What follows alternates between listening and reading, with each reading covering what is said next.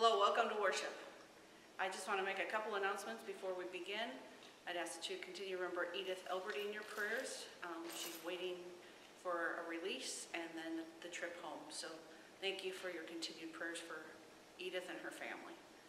Also, I'll mention it in the email, but if you have any cotton material or remnants, if you could bring those to the church, I'll list the times that you could drop those off. Um, We have quilters at home who are making lots of quilts with their time, and they're running out of material. So I will include that in the email as well. We begin in the name of the Creator, Sustainer, and Redeemer. Amen. A reading from Jeremiah 28. Then the prophet Jeremiah spoke to the prophet Hananiah in the presence of the priests and all the people who were standing in the house of the Lord. And the prophet Jeremiah said, Amen. May the Lord do so. May the Lord fulfill the words that you have prophesied and bring back to this place from Babylon the vessels of the house of the Lord and all the exiles. But listen now to this word that I speak in your hearing and the hearing of all the people. The prophets who preceded you and me from ancient times prophesied war, famine, and pestilence against many countries and great kingdoms. As for the prophet who prophesies peace, when the word of that prophet comes true, then it will be known that the Lord has truly sent the prophet. Here ends the reading. Verses 1 and 4 and 15 and 18 from Psalm 89. I will sing of your steadfast love, O Lord, forever. With my mouth I will proclaim your faithfulness to all generations. I will declare that your steadfast love is established forever, your faithfulness as firm as the heavens. You said, I have made a covenant with my chosen one. I have sworn to my servant David, I will establish your descendants forever and build your throne for all generations. Happy are the people who know the festal shout, who walk, O Lord, in the light of your countenance. They exalt in your name all day long and extol your righteousness. For you are the glory of their strength. By your favor, your horn is exalted. For our shield belongs to the Lord. Our King is the Holy One of Israel. Here ends the reading. For the prayer of the day, I would like to share a prayer called When I'm Longing for Peace Within and Without. Let us pray. Beautiful Spirit of peace, I'm longing for peace within and peace around. For peace in families, peace in our neighborhoods, peace between nations, peace for Mother Earth, peace in the quiet depths of my own soul. Peace for people ripped open by painful divides on streets and in conversations.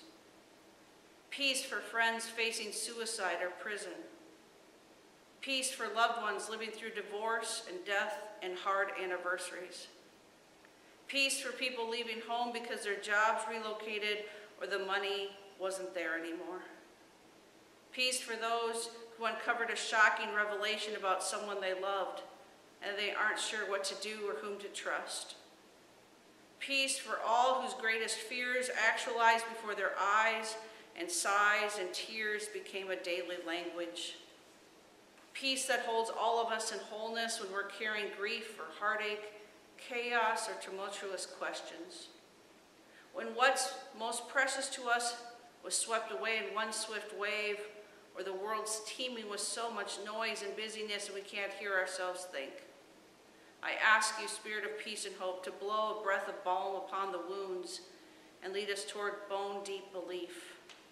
Even in this challenging landscape, may your presence bring peace passing all understanding as it strengthens our bodies, renews our minds, and heals this land. I thank you that peace is not a dream, but a promise, and you are the giver of peace. Amen.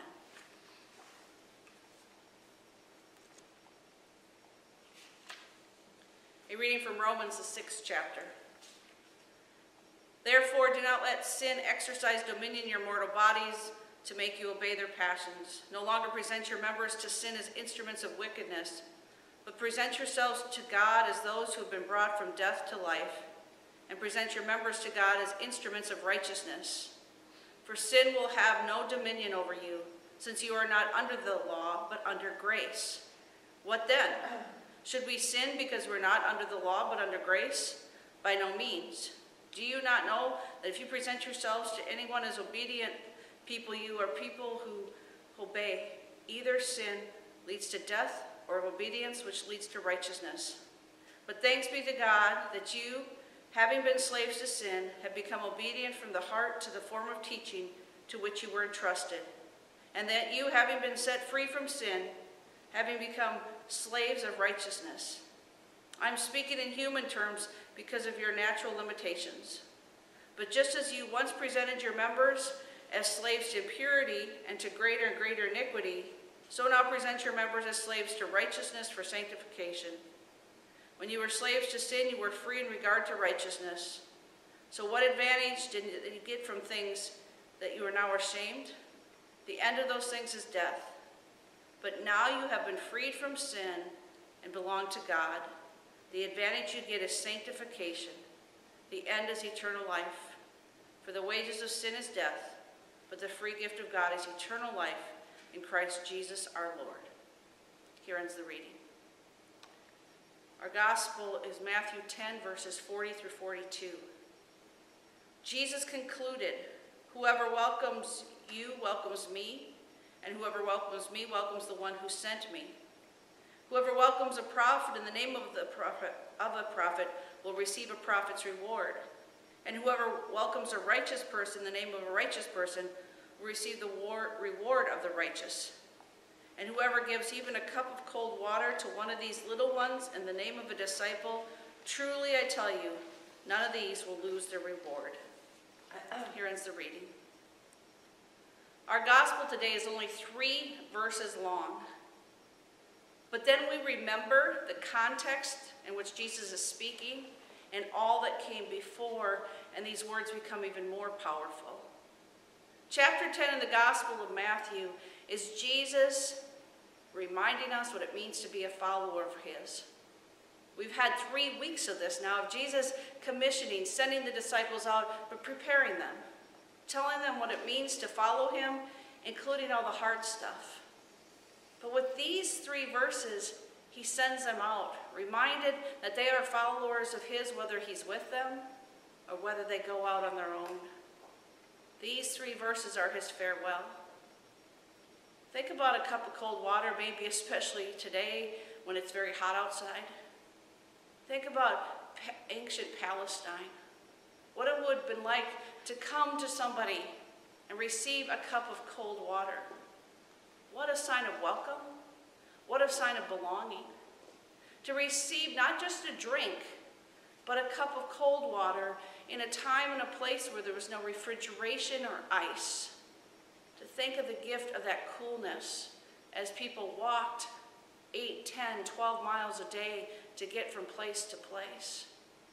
We're called to welcome each other with not just the minimal, but to give above and beyond, to give the very best in each and every circumstance.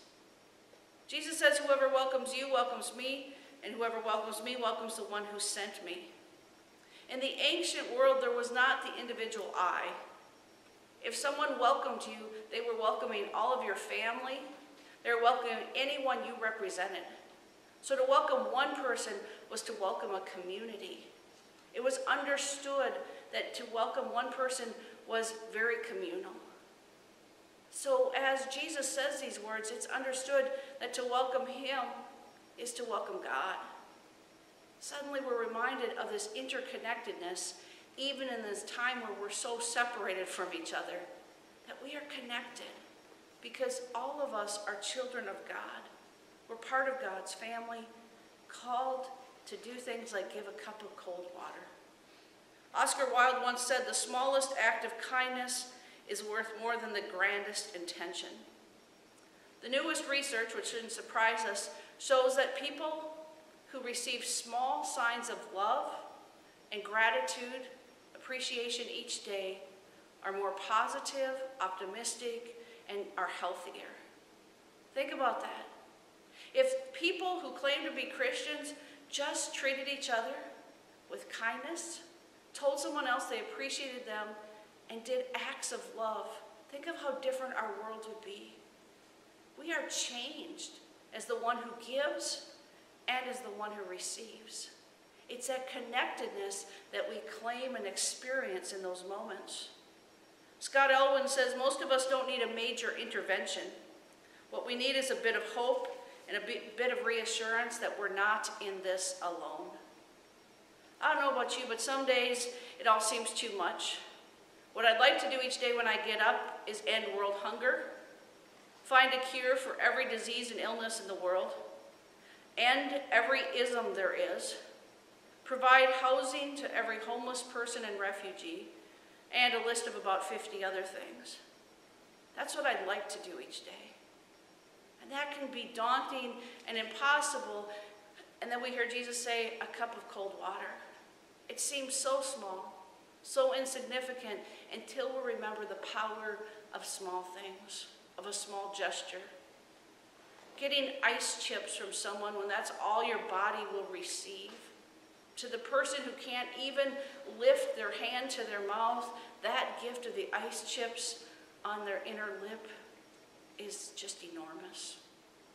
Three little words I love you or I forgive you makes such a difference. It changes who we are, it changes how we see ourselves and the world. A hand that reaches for ours when we really started to think we were alone in this world.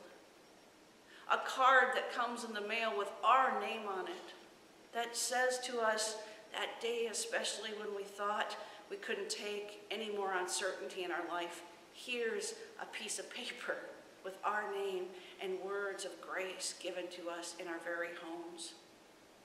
I think of people who will bring material and have brought material and cloth remnants, just pieces, just what looks to me like junk, and somehow our quilters will make blankets of love that will transform lives. Jesus reminds us that small gestures brought together create such change. Some of you may remember the scene from the French Open last year as Nicolas Mahut was defeated. It was a game he was supposed to win, and he would go on to participate in the championship round had he won. But he was defeated.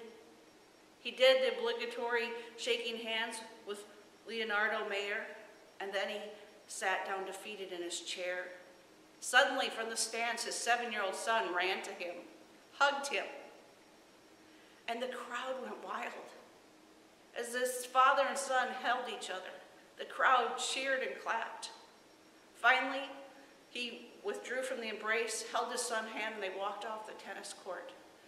Cheering crowds. People were giving him a standing ovation. If you had the sound turned off, you would have thought he was the winner of that game. And I think many of us would believe he was. A cup of cold water someone who stands with us in our greatest darkness. We are children of God. We welcome every human being as if they were Jesus and God entering our time, our space, our home, our sanctuary, and we welcome them with a cup of cold water, with food, with a listening ear. We listen to their stories, we listen to their pain. We welcome others by sharing in their grief and their shame. We stand with them and say, This is not who you are. We stand with you and for you. We welcome each other. As much as I'd love to end world hunger, we will do it together by sharing a cup of cold water, by fighting for policies that are more fair, by bringing food for feeding South Dakota, by serving the banquet Together, these small gestures say the kingdom of God is here right now, and we proclaim his presence in our world. Let us pray. Dear God, open our eyes to those around us who need a cup of cold water and kindle our hearts to respond to them in love and action. In Jesus' name, amen. Let us proclaim our faith together with the words of the Apostles' Creed. I believe in God the Father Almighty, creator of heaven and earth. I believe in Jesus Christ, God's only Son, our Lord, who was conceived by the Holy Spirit, born of the Virgin Mary, suffered under Pontius Pilate, was crucified, died, and was buried. He descended to the dead. On the third day he rose again. He ascended into heaven He is seated at the right hand of the Father, and he will come to judge the living and the dead. I believe in the Holy Spirit, the Holy Catholic Church, the communion of saints, the forgiveness of sins, the resurrection of the body, and the life everlasting. Amen. Let us pray. Called into unity with one another and the whole creation, we pray for our shared world. God of abundance, when you promise deliverance, it is because you want us to fully live. We pray for those who are sick or sorrowing, for those who are oppressed, for peace within and between nations, for the health of the earth. Bless this congregation to be a place of welcome for those who speak the truth and a place of comfort in the name of Christ. God of mercy, inspire authorities, judges, and politicians to act with compassion. Turn death to life, fear to hope, and lies to love. Remind us that our most powerful witness to the power of your love is given from a place of vulnerability. Grant us the vision to recognize where you are leading us and shape our shared future. Set free to live more faithfully with one another and sent out to be a sign of your grace and welcome. Holy One, receive our prayers for the sake of Jesus Christ, and whom is life now and forever. Amen. We pray as our Lord Jesus taught us to pray. Our Father, who art in heaven, hallowed be thy name. Thy kingdom come, thy will be done, on earth as it is in heaven. Give us this day our daily bread, and forgive us our trespasses, as we forgive those who trespass against us. And lead us not into temptation, but deliver us from evil. For thine is the kingdom, and the power, and the glory, forever and ever. May the Lord bless you and keep you. May the Lord's face shine upon you and be gracious to you. May the Lord look upon you with favor and give you peace.